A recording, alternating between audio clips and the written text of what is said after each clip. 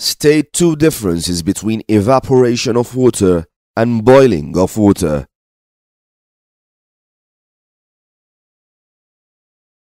Let's remember the difference between evaporation and boiling.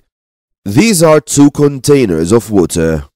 Evaporation of water is the change from liquid state as water to gaseous state as water vapor.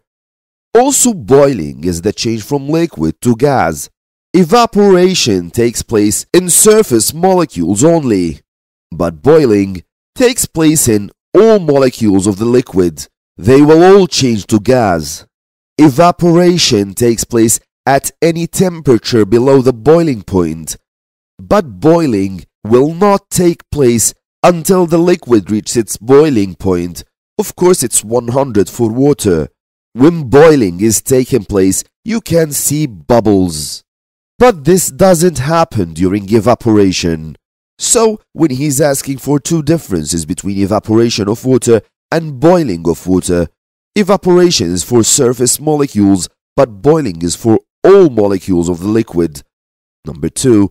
Evaporation happens at any temperature below the boiling point, but boiling happens only at boiling point. Mark scheme gives the two mark for any one of on surface for evaporation, but throughout for boiling. All temperatures for evaporation, but at boiling points for the boiling.